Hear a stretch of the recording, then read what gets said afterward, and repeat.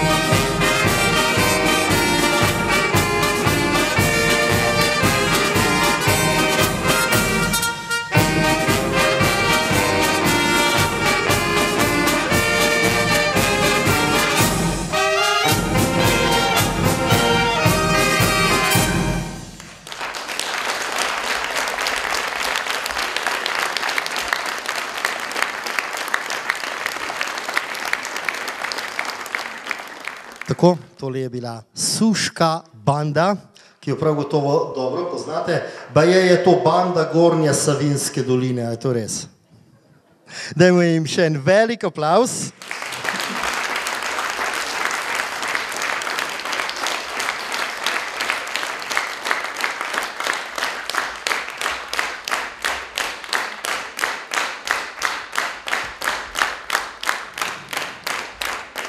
Se pridejo še na oder, nikar ne skrbite. Ampak prav je, da sedaj začenjamo z našim tekmovanjem, z našim tekmovanjem za Polkino zvezdo pevcev. Zadnje tekmovanje pred velikim finalom in tako kot vedno besedo predajam Primožu.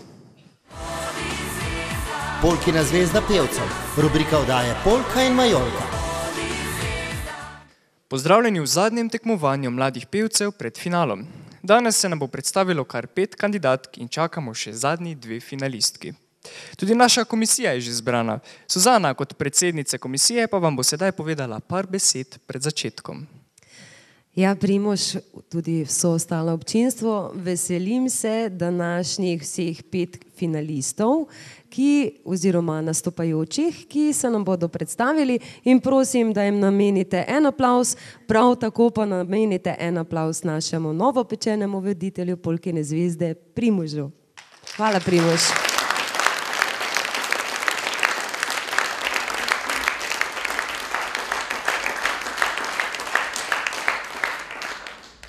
Najprej je z nami mlado dekle iz Muzirja Eva Pisanec. Hodi v peti razred osnovne šole. Že od malih nog ima zelo rada aplauze. Tri leta je trenirala umetnostno drsanje, kasneje tudi klavir, jazz balet in izrazni ples. Je zelo muzikalna in ima dobro razvit posluh. Izbrala si je pesem Nejše, malo tu, malo tam. Spoštovani Eva Pisanec.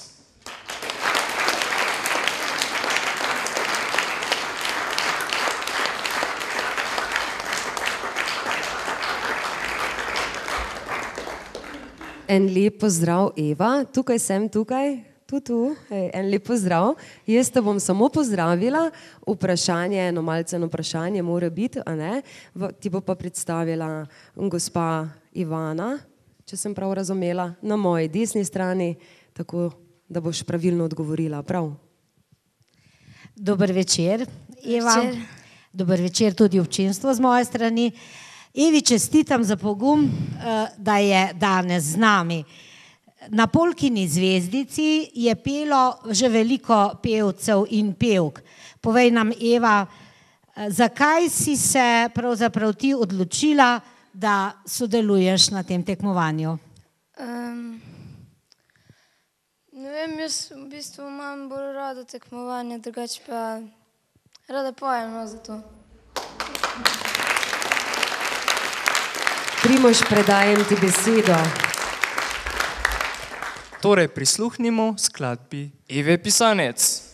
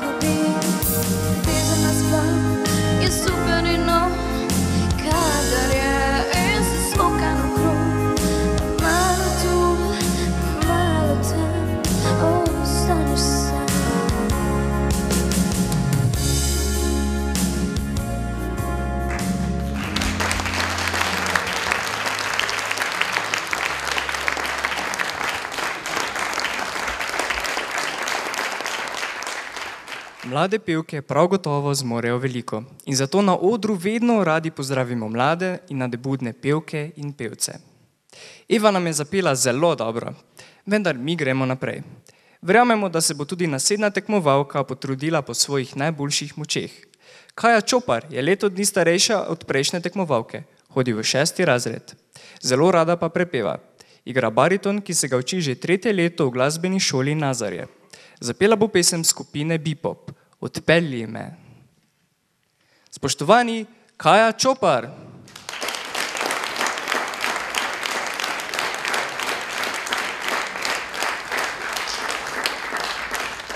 Lep pozdrav, Kaja, tudi tebi. Hvala.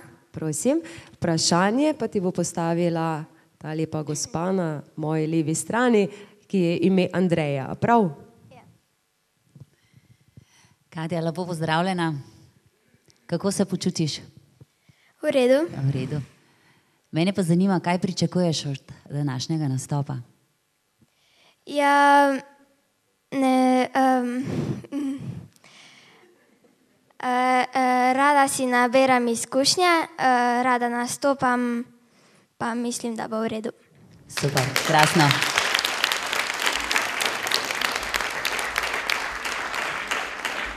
Naj nas odpelje Kaja Čopar.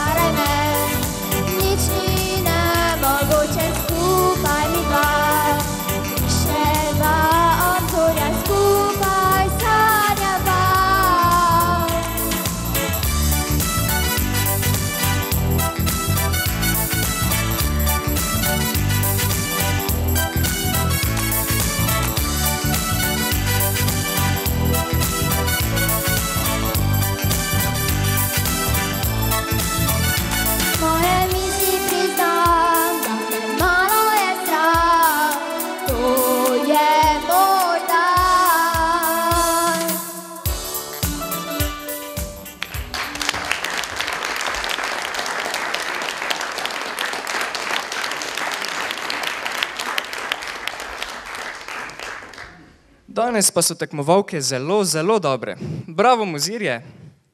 Naslednja tekmovalka pa je tudi zelo zanimiva. Za petje se je odločila pri rosnih desetih letih, zatem se je začela učiti solo petja pri Alenki Gotar. Igra tudi bas kitaro, zna pa tudi odlat. Predstavila se nam bo Katja Brezovnik s pesmijo Dolores, Vem, jo kala bom. Suzana, ti pa le gledaj, da nam bo Katja pred pesmijo tudi malo zajodlala. Bodi brez skrbi.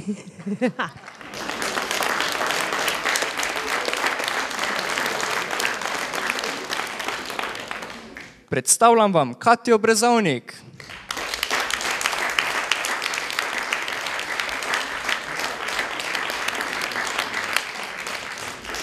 Lepo zdrav, Katja. Hvala, enako. Me veseli, da si z nami v Polkini zvezdi. Uh, glede na to, da imaš bogate izkušnje pevske, verjetno pri zelo dobri učiteljici Alenki Godr in vse ostalo, ampak jaz bom te res izpostavila enemu takšnemu pravemu izzivu. Si za?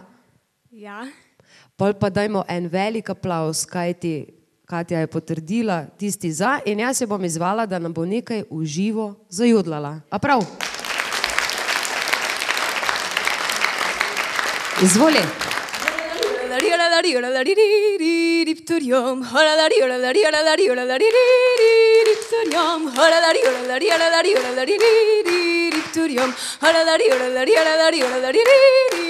Hvala. Ja, Katja, morda bi mogla izbrati nekaj, kar se tiče jodlanja, ker je dosti lepih skladbic uh, z vključevanjem besedila in jodlanja. Ampak zanima me, kdo te je naučil jodlati? Na začetku sem se sama učila jodlati pred, uh, prek uh, YouTuba. Pred enim mesecem sem se šla pa učiti uh, k Brigiti Vrhovnik. Je super, nimam kaj reči, ko bi le znala jodlati tako kot ti, ampak prepuščam besedo na oder. Katja Brezovnik.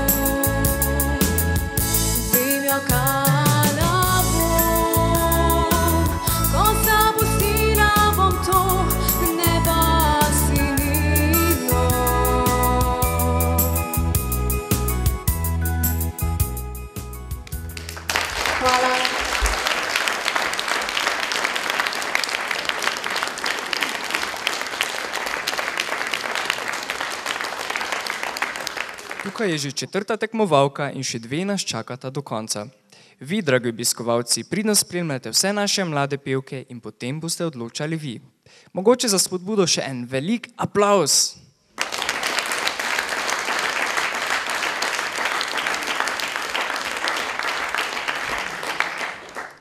Nika Jevšnik v prostem času trenira odbojko, rada pleše, uči se igranja kitare in sintesajzerja. Njena velika ljubezen pa je tudi petje. Zelo rada prepeva narodno zabavne viže, od tistih starih pa tudi novejše. Kmalu pa se bo naučila tudi igranja diatonične harmonike. Predstavila se nam bo Nika Jevšnik, ki nas bo povabila na morje z morsko pravljico ansambla Petra Finka. Nika Jevšnik!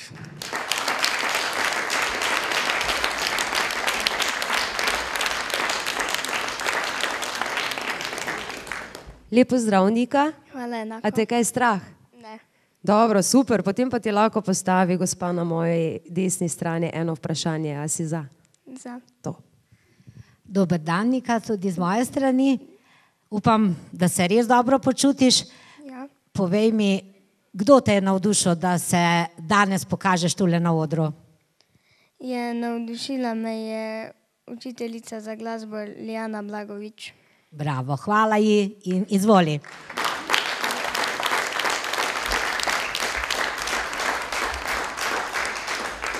nami je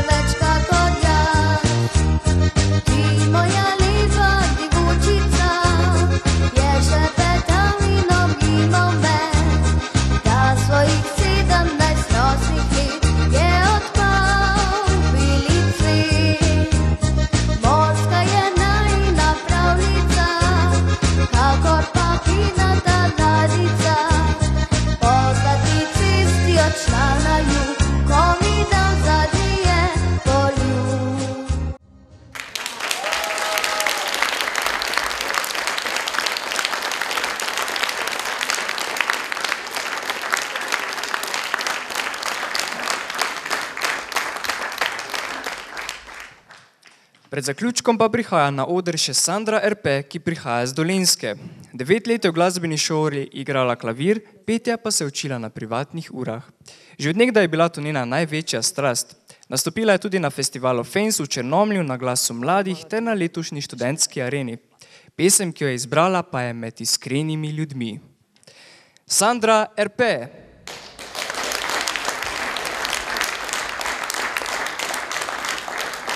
Lep pozdrav, Sandra.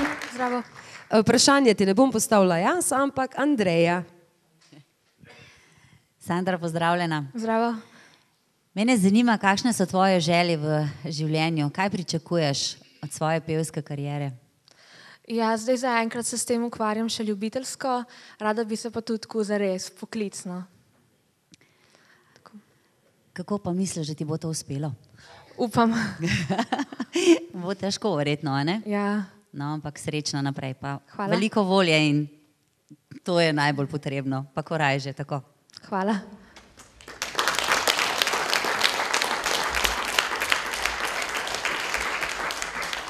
Pa prisluhnimo Sandri RP.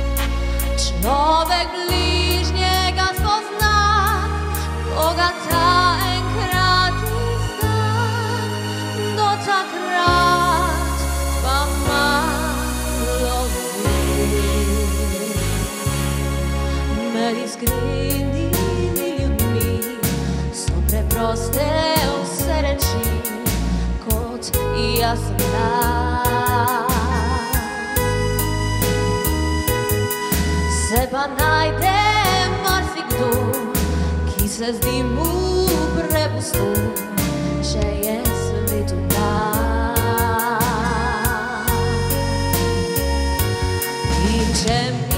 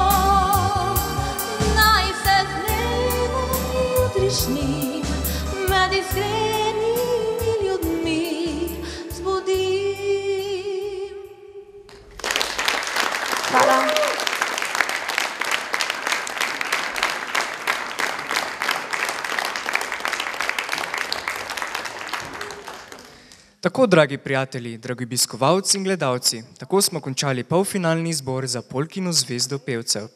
Še dve finalistki se bosta danes uvrstili v finale, ki bo 11. aprila na velikem praznovanju 8. rojstnega dne oddaje Polka in Majolka v Dobovi. Sedaj pa le glasujte, kmalo bo do vas prišla naša Sara s skrinjico. Notri odvrzite glasovnico in komisija bo vse skupaj preštela. Ob koncu oddaje tako dobimo vse finaliste.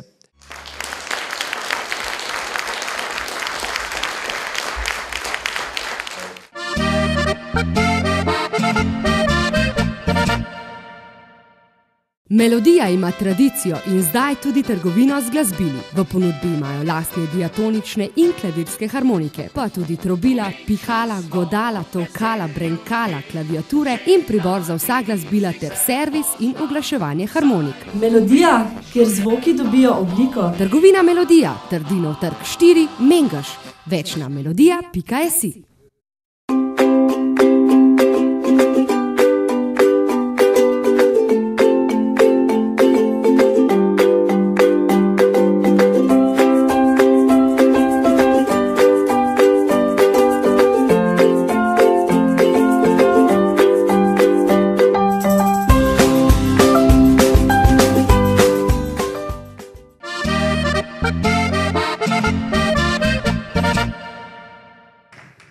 Tako, dragi moji, jaz upam, da ste zadovoljni in da lahko resnično zaploskate vsem mladim tekmovalcem. Vidim, da je tudi v muzirju prihodnost slovenske pesmi.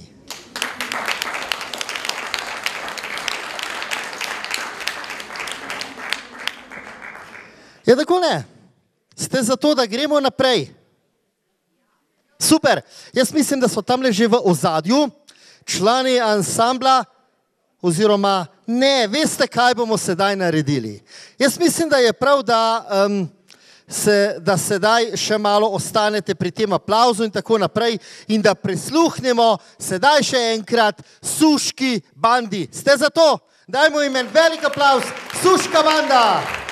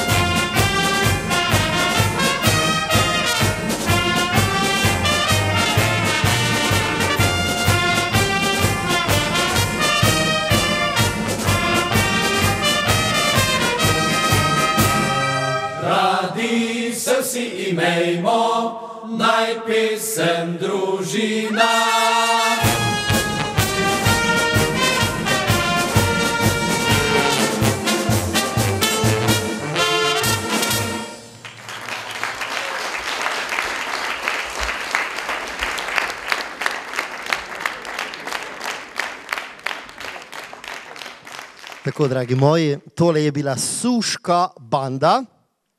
Ja, to je, bila, to je, kot so rekli, banda Gornesavske doline. Zdaj vemo, kako prva banda zgleda. Ampak mi gremo seveda naprej. Eh, V tej oddaji eh, bolj podrobno predstavljamo ansambl, ki je prišel na našo polko in majolko iz Dolenske. Ja, videli ste jih že prav gotovo kdaj na kakšni televiziji, ampak mm, danes pridejo tukaj zato, da vam bodo tudi nekaj zanimivega povedali. Predstavili bodo tudi svoj koncertno, ampak o tem malce kasneje.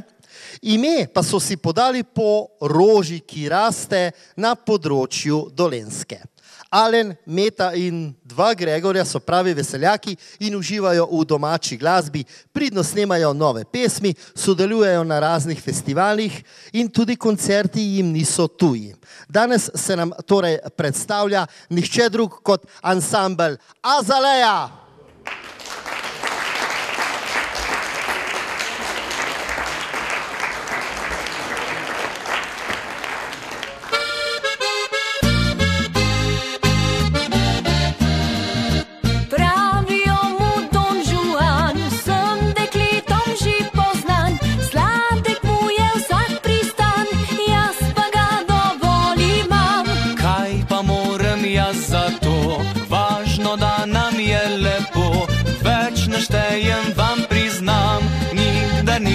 Sam. Grem vasovat, videl bi jo rad.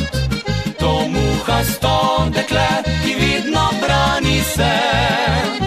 So njene ustnice, kordiče, jagode, a ona še ne vidi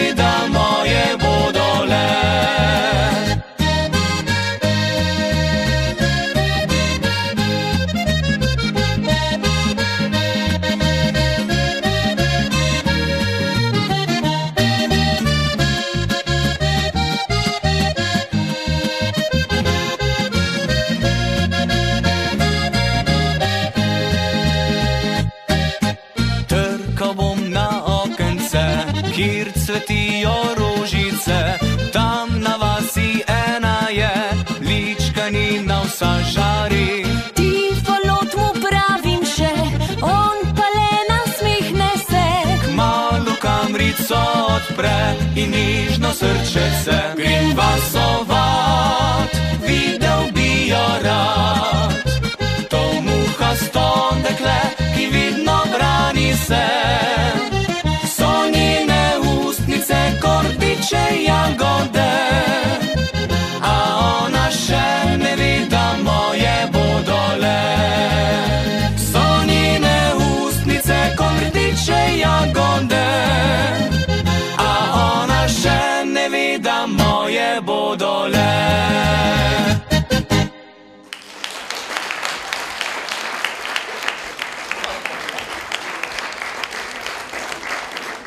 Je rekel, da bo ona več povedala, ker je blond, ne hecam se. Um, sicer pa takole. Uh, več neumnega, ja. Za neumno bomo potem njega vprašali. Sicer pa um, ansambla Zaleja prihaja iz Dolenske, oziroma bolje rečeno, tako iz vseh koncev ste. Imate tudi enega uvoženega, sem slišal, ampak o tem ne bomo zdaj. Ja. Um, povej, um, na Dolenskem je ogromno ansamblov, tam je doma Frajtonarica, ne na zadnje je iz Dolenske, seveda tudi eh, pokojni Lojze Slak. Veliko ansamblov je tam, kako se kaj spopadate s to konkurenco, da mi povej. Ma, mi smo itak ene take, uh, ena taka lepa rožca med vsemi temi lepimi ansambli. Ne, Lepo, da si povedala, da si rožca med vsemi tremi, ja, eh, dobro. ne govorim med ansambli, tako da ne. Sej, uh, smo tako drugačni in tako, tako da se lepo pač borimo vmes, uh, smo samo svoji drugačni in peljemo tako, da se da. Tako da se da. Super si povedala. Dobro, ti boš malo bolj zgovoren, se mi zdi. um, bili ste um, na nekih, uh, že na festivalih, um, videli smo vas tudi v eni oddaji, kjer se tudi predstavljajo taki mladi um, talenti. Um, da mi povej, kakšna je izkušnja, da nastopate recimo na um, kakšnem takem festivalu? Ja, izkušnja je tako dobro zmerjena, še posebej, če je dober odziv publike, če je dobra izvedba, no, če je pač nagrade, pa še toliko boljš. No. Ampak glavno je, da se ti res v finale prebiješ in to je to. No. To je pa zdaj čisto podolensko povedal. Dajmo en aplauz za Zelejo, kasneje se še vrnemo k njim.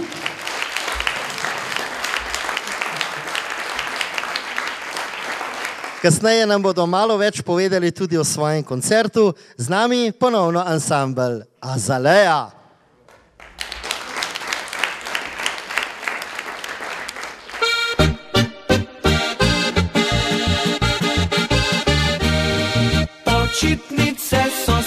Prišle, študij še daleč je. V tuje kraje vleče me, tja si želi srce.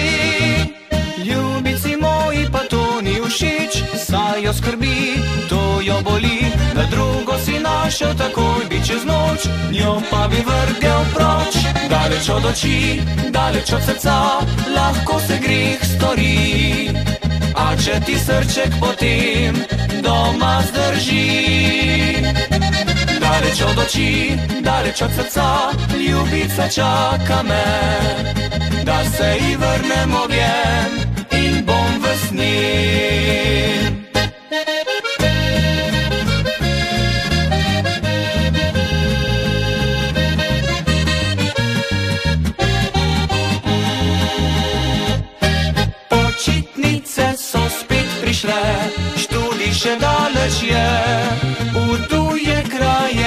Vleče me, tja si želi srce.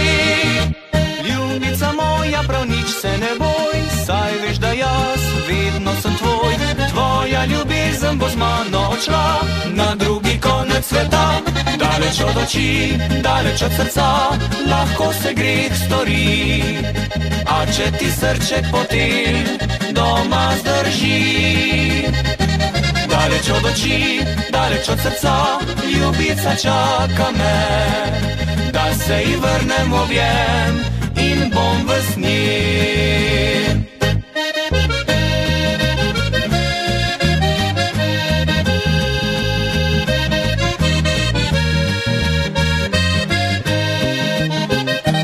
Daleč od oči, daleč od srca, ljubica čaka me, da se ji vrnem v objem in bom v sni.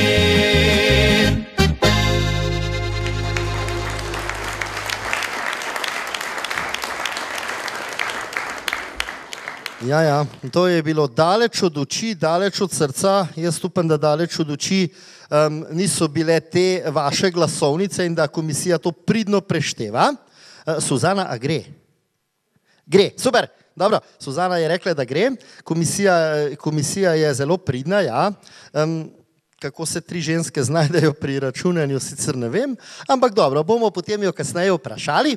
Um, sedaj pa je prav, da um, bomo dali priložnost sedaj še enemu gostu, ki prav tako prihaja iz um, drugega konca, prihaja iz Ljubljane. Um, prvič se nam predstavlja v naši vdaji Vladimir Ušaj, bo sedaj prišel na oder, dajte mu en velik aplaus. Odšel bom svoji ljubici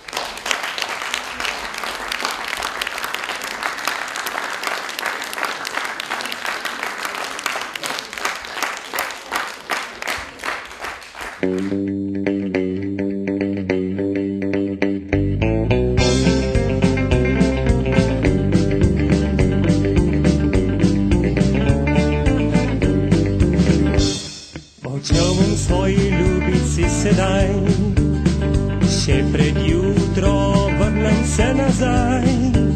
Odšel bom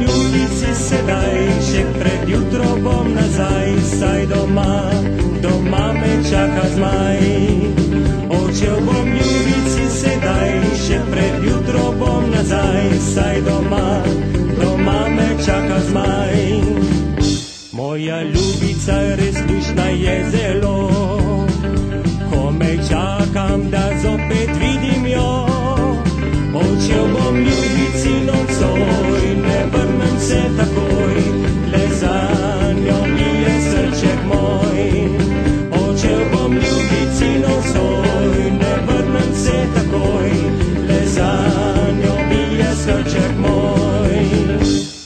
Ljubica še mlado je dekle, vsak večer pri kozovcu čaka me. Odšel bom ljubici sedaj, še pred jutro bom nazaj, saj doma, doma me čaka zmaj. Odšel bom ljubici nocoj, ne vrnem se takoj, le za njo bije srček moj.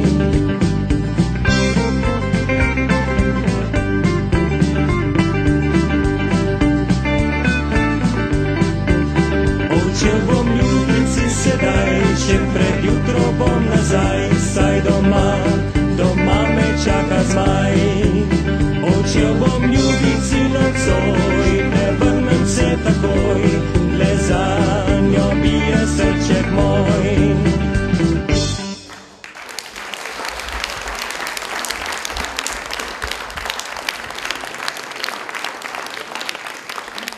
Sedaj pa mislim, da je prav, da še enkrat na oder povabimo člane ansambla Azaleja. Pridite na oder, tako, tako. Mi bomo sedaj malce več eh, spregovorili o ansamblu. Takole, ja. Aha, z, z, o, se lahko prideš poleg mene, tako ja, super. Nič se ne boji, dobro, super. Um, Ansambl Azaleja m, enkrat ali dvakrat na leto organizira tudi kakšen humanitarni koncert, tudi kakšen svoj koncert. Veliko ste na tem eh, področju aktivni in eh, sedaj pripravljate tudi nek koncert, sem slišal. Tako je, zdaj pa pripravljamo uh, svoj koncert uh, in koncert eh, zgoščenke no? in uh, s tem tudi promocijski koncert, ki pa bo na Dolenskem, seveda, ne, v okolici Novega mesta oziroma natančno uh, v Gaborju pod Gorjanci, kjer je tudi sedež ansambla. Uh, koncert bo maja, 23. maja ob 19. uri. Eh, Tako da ste vsi dobrodošli, zakaj ne prišli še malo v naše kraje, če lahko mi pridemo v vaše. Super, eh, to si lepo povedal. Um, no, eh, in, Na kakšen deci cvička, ne? aha, na deci cvička, tu pijete cviček. Aha. Mm. A veš, um, Alen, um, za Savinče ne velja isto za Gorence. A veš, um, po moje bodo pripeljali s sabo še kakšnega brata ali pa dva. Ni problem, no, sej vstopnice so itek, bodo bile po 8 evrov, no. v predprodaji, no. Ja, dobro. Zdaj ne vem, če je bila to dobra ali slaba reklama. Ampak um, ja, prav gotovo uh, pa ti eh, poznaš uh, vse nastopajoče, kdo bo vse nastopal. Uh, sem slišal, da si se to včeraj naučila na pamet. Tako zdaj bom zdrdrala, ko v šoli pred učiteljico. Ne, imamo res uh, za vse, za mlade, za, za mogoče malo starejše, tako da nastopajoči so Dejan Vunjak, Fantje Spraprotna, Jodel Express, Mladi Gamsi, Mladi Upi, Poskočni muzikanti, Marjan Novina in ansambl Azalejas. A, sem mislil, da si pozabila, sem mislil, da si pozabila, super. Um, sicer pa uh, veliko dajete tudi na humanitarno noto, veliko se udeležujete, tudi organizirali ste nekaj humanitarnih uh, koncertov. Um, povej mi, kakšen je kaj uh, odziv Ja, odziv je dober, no, seveda, če koncert uspe, če je eh, zbrano na koncu lepo vsota denarja, da lahko res pomagamo družinam, potem otrokom, no, za katere tudi največkrat organiziramo. Eh, lani smo organizirali recimo en koncert, no, je bil uspešen. Takač pa tudi eh, radi se udeležujemo koncerte, ki jih organizirajo drugi. No. Ja, super. Um, mislim, da bo zdaj kar veliko dela za vas, ja, a ne? Glede na položaj, ampak dobro, bomo videli, mogoče kakega naredimo tudi v teh koncih. Še enkrat se nam predstavlja, dajte jim en velik aplaus ansamblu Azaleja. Zaklenila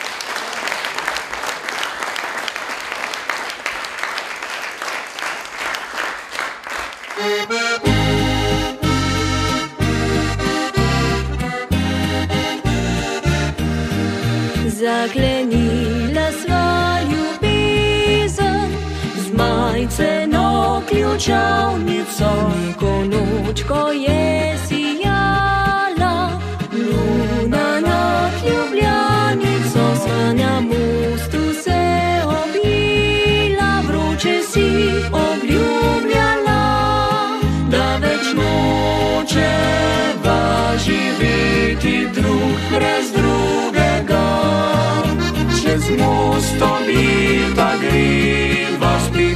sreče brez besed. Nekje na dnu ljubljanice je najin ključek še. Ljubezen vsaka zakline mladi par. V pozabo ne Zapiše ta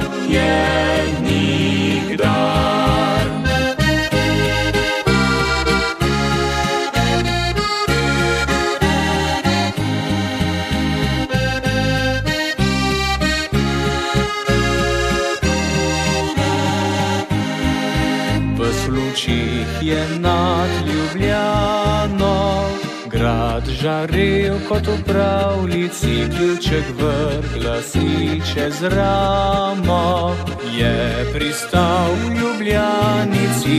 Dva pa tesno obita, izgubila sva se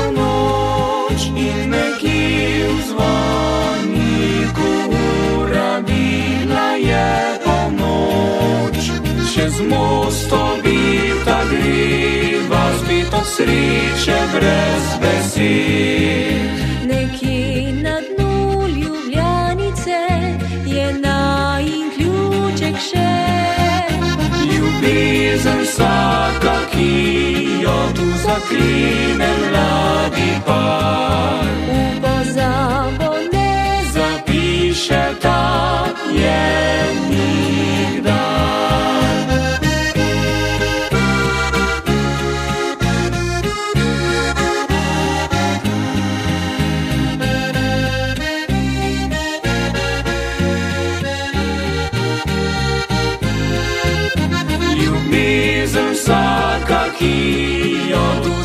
Zakline mladi par. pozabo ne Zapiše ta je nikdar. pozabo ne Zapiše ta je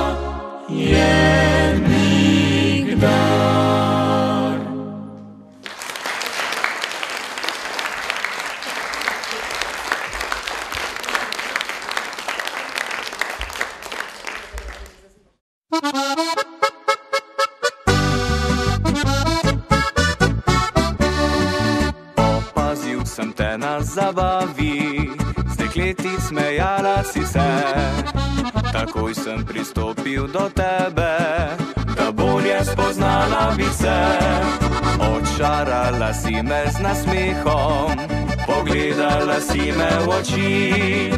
V tistem trenutku spoznal sem, moja nova soseda si ti. Daj, daj mi, daj svojo nežno roko mi podaj, da plesal bom s tabo vso noč.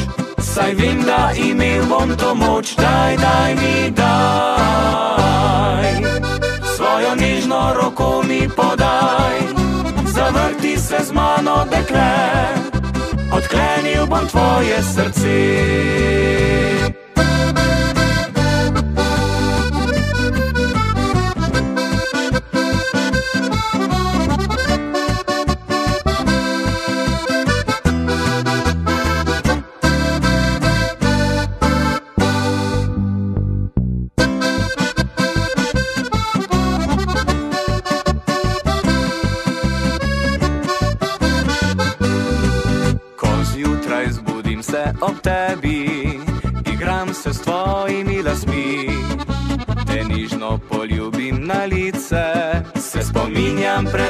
Pretekle noči.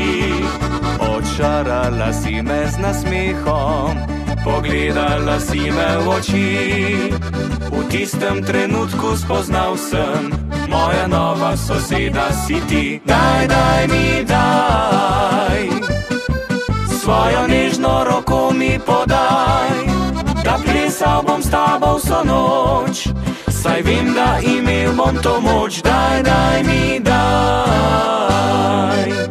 Svojo nežno roko mi podaj, zavrti se z mano, dekle, odklenil bom tvoje srce.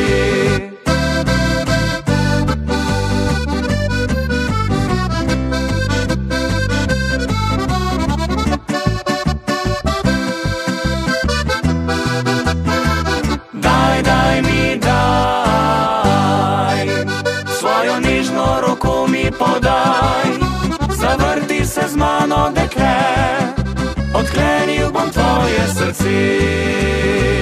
Daj, daj mi, daj.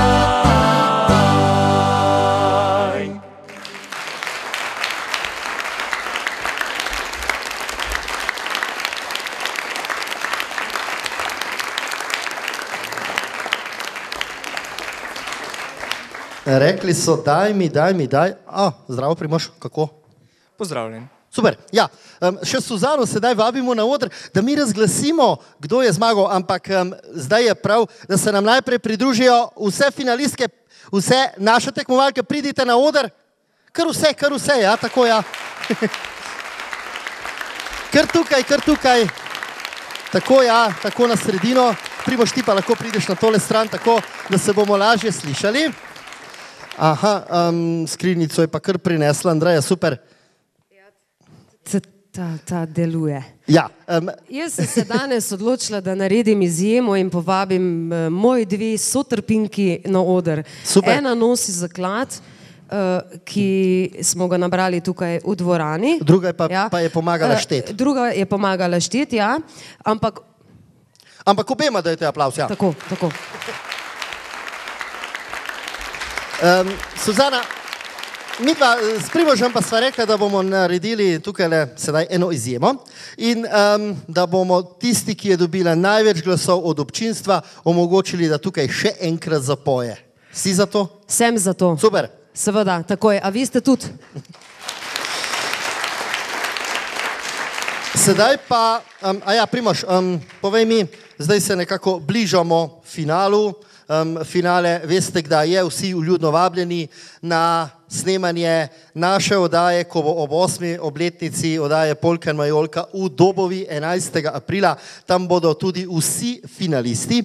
Imamo, imamo že štiri finaliste, se pravi, danes bomo dobili še dve in tam uh, na finalu bo, bodo morale zapeti vsaka po dve pesmi, je tako? Tako. Ja, tako. in um, potem bomo določili, katera bo zmagala, vendar do takrat je še malce daleč. Um, Primož, um, kakšen nasvet mogoče um, naj nimajo treme ali kaj podobnega? Vsekakor ne nimajo treme, naj se še naprej trudijo s petjem, malo talenta, malo učenja, pa je to to. Pa je to to. Hm, dobro. Čarobna Super. kombinacija. Kakšna dobra kombinacija. Ja, um, punce, a bi rade zvedele, katera je odšla v finale? Uh, no, da slišimo, vsi rečete da. Dajmo tri, štiri. Bravo, super. Jaz bi se mogli zadreti. Ja, dajmo en aplauz za vseh pet finalistov.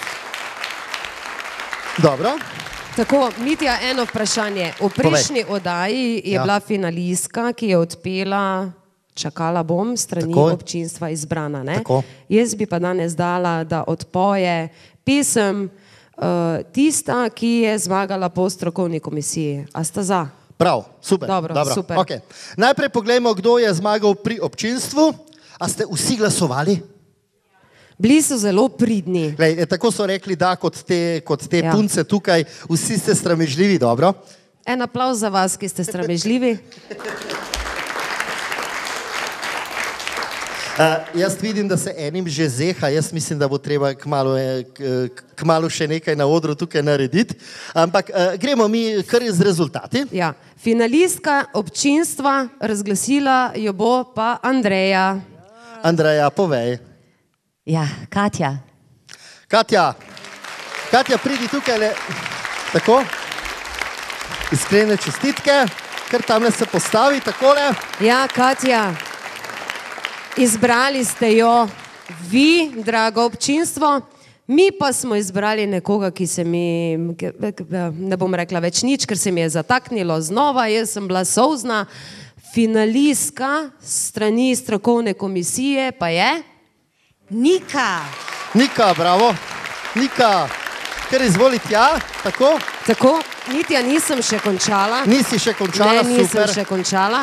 Super. Tako, Katja, tebe je izglasovalo občinstvo, Nika, mi smo te izbrali, me tri, zato da boš bolj pogumna, ker ti gre fantastično. Ampak naleteli smo na težavo, imeli smo izenačenje, kar nikoli ne pomeni nič dobrega. Ne?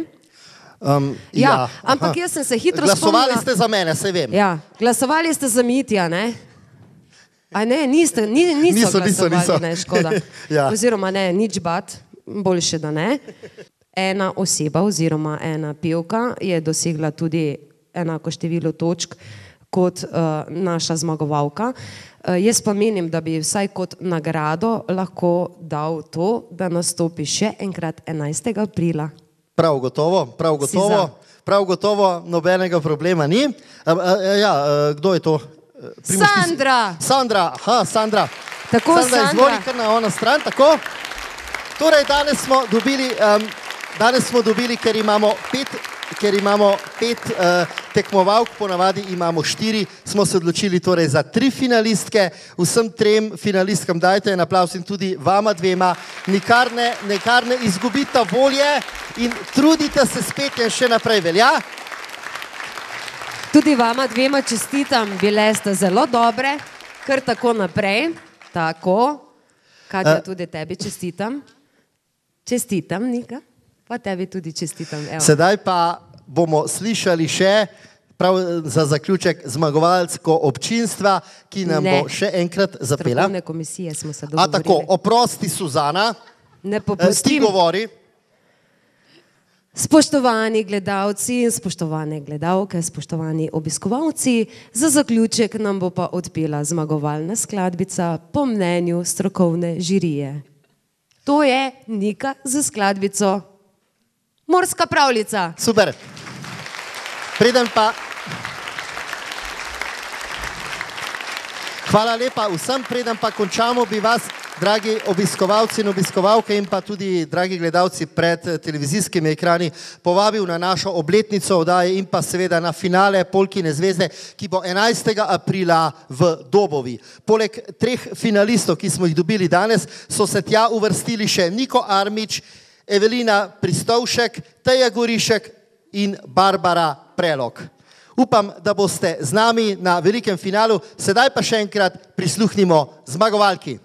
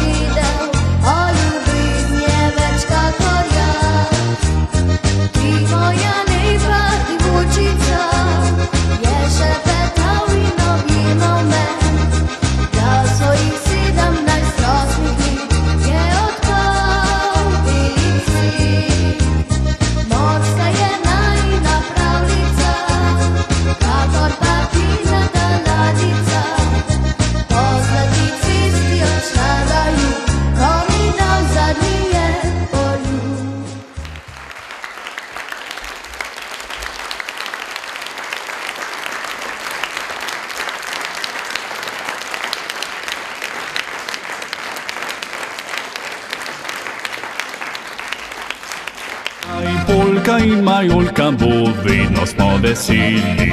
Dobro voljo trosimo, saj vam bomo peli. Polne že dvorane so, pesem se razliga. Pridite sedaj še vi, saj polka se vrti.